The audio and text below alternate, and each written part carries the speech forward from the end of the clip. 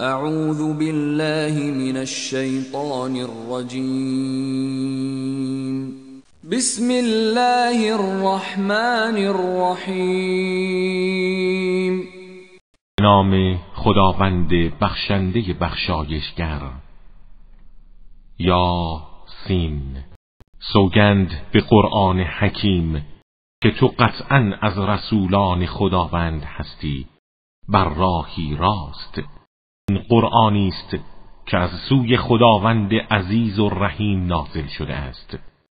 تا قومی را بیم دهی که پدرانشان انذار نشدند از این رو آنان غافلند.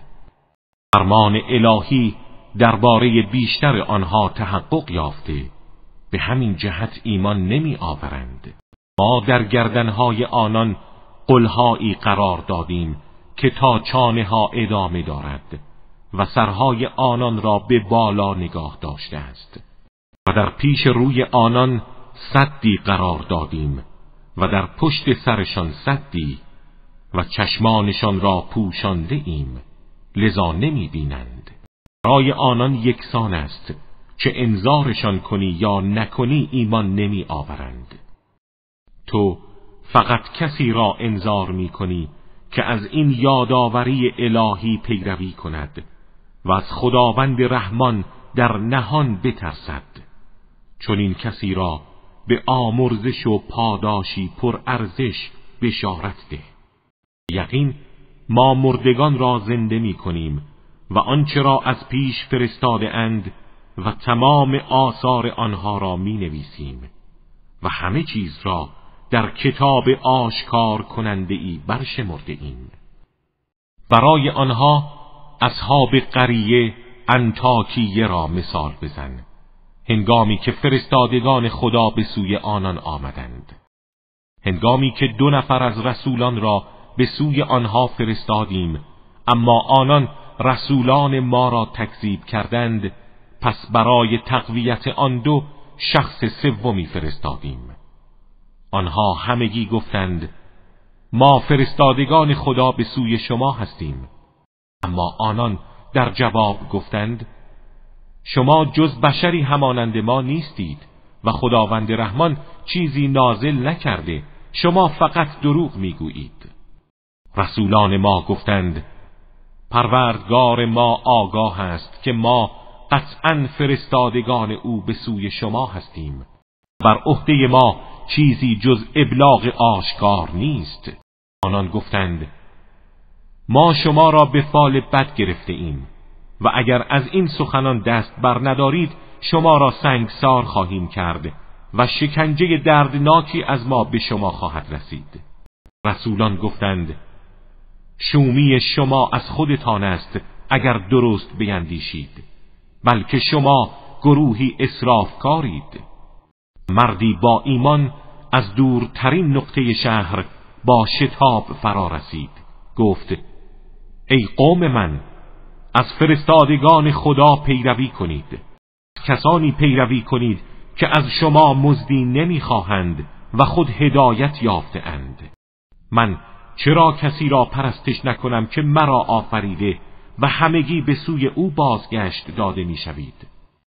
آیا غیر از او معبودانی را انتخاب کنم که اگر خداوند رحمان بخواهد زیانی به من برساند شفاعت آنها کمترین فایده ای برای من ندارد و مرا نجات نخواهند داد. اگر چنین کنم من در گمراهی آشکاری خواهم بود. به همین دلیل من به پروردگارتان ایمان آوردم. پس به سخنان من گوش فرا دهید. سرانجام او را شهید کردند و به او گفته شد وارد بهشت شو. گفت ای کاش قوم من می‌دانستند که پروردگارم مرا آمرزیده و از گرامی داشتگان قرار داده است. اما بعد از او بر قومش هیچ لشکری از آسمان نفرستادیم و هرگز سنت ما بر این نبود بلکه فقط یک سیحه آسمانی بود. ناگهان همگی خاموش شدند.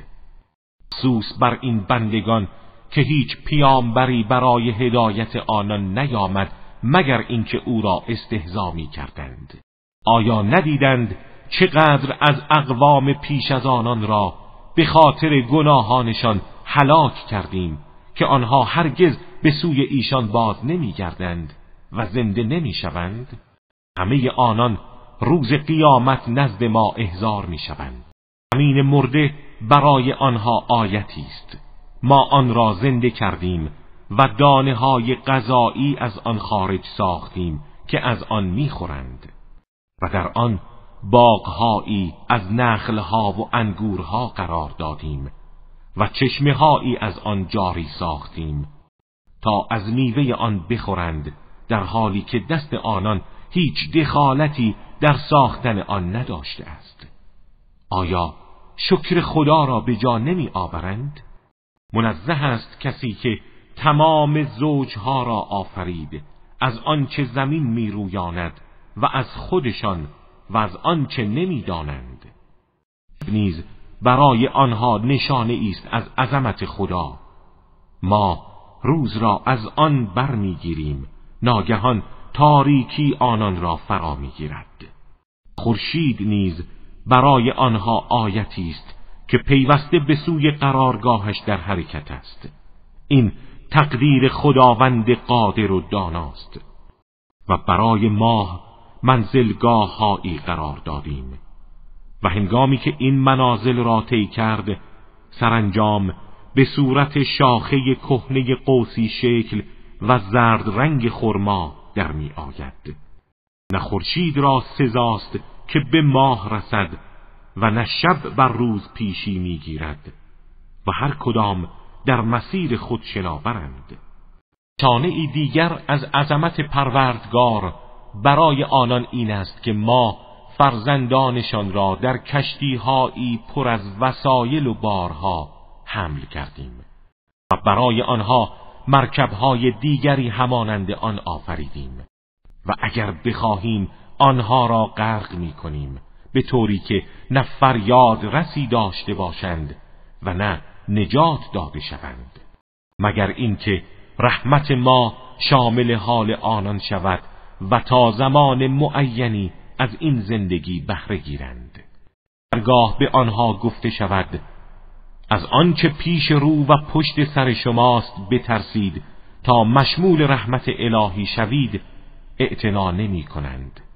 و هیچ آیه ای از آیات پروردگارشان برای آنها نمی آید مگر اینکه از آن روی گردان می شوند هنگامی که به آنان گفته شود از آنچه خدا به شما روزی کرده انفاق کنید کافران به مؤمنان می‌گویند آیا ما کسی را اطعام کنیم که اگر خدا می‌خواست او را اطعام می‌کرد؟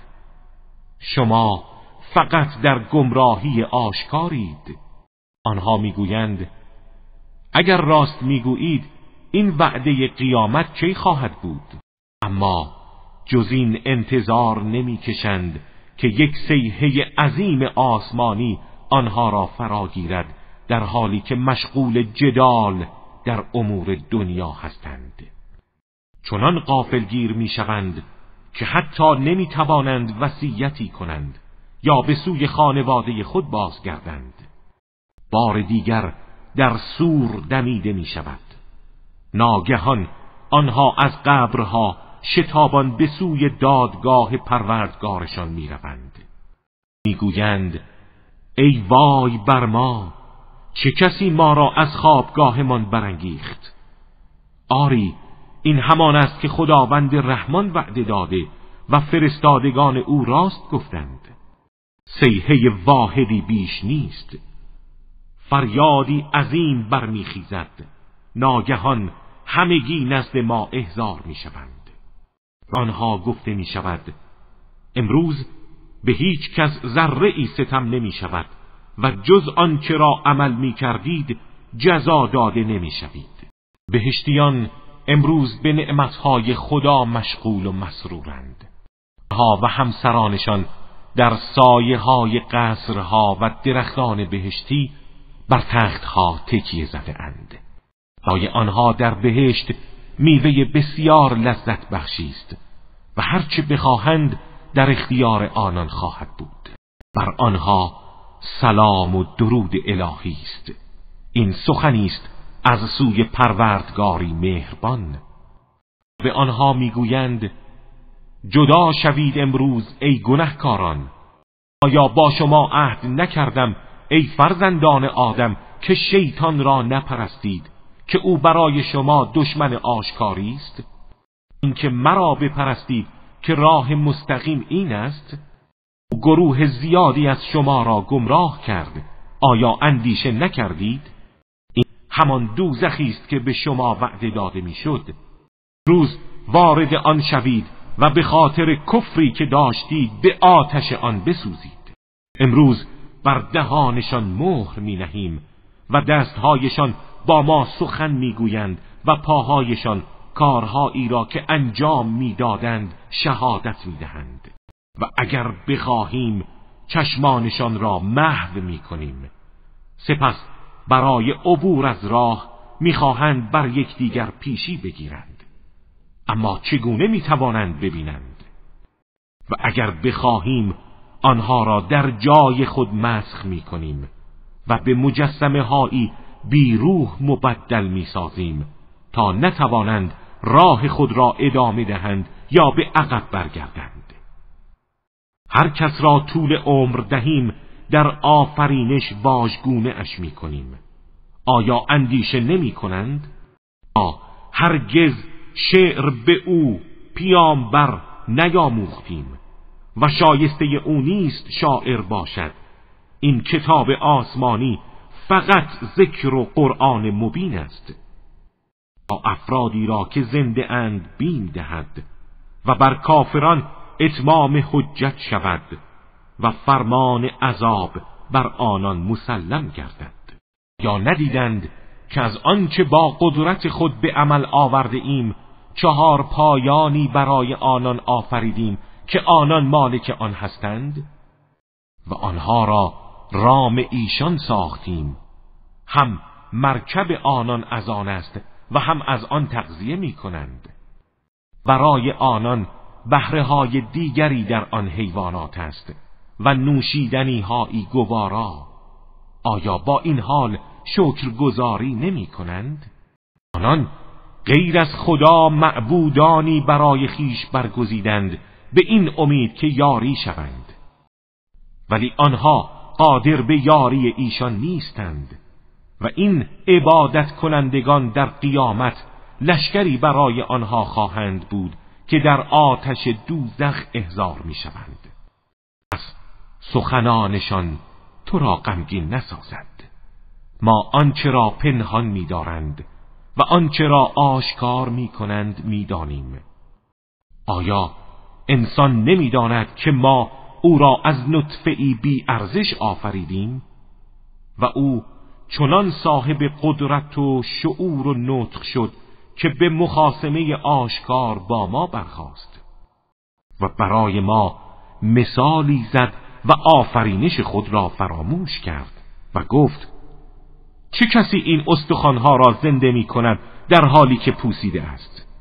بگو همان کسی آن را زنده می کند که نخستین بار آن را آفرید و او به هر مخلوقی داناست.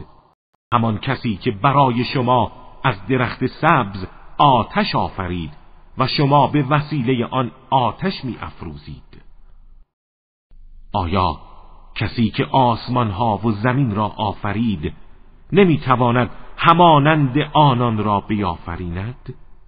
آری می‌تواند و او آفریدگار داناست. فرمان او چنین است که هرگاه چیزی را اراده کند تنها به آن می‌گوید موجود باش. آن نیز بیدرنگ موجود می شود پس منزه است خداوندی که مالکیت و حاکمیت همه چیز در دست اوست و شما را به سوی او باز میگردانند.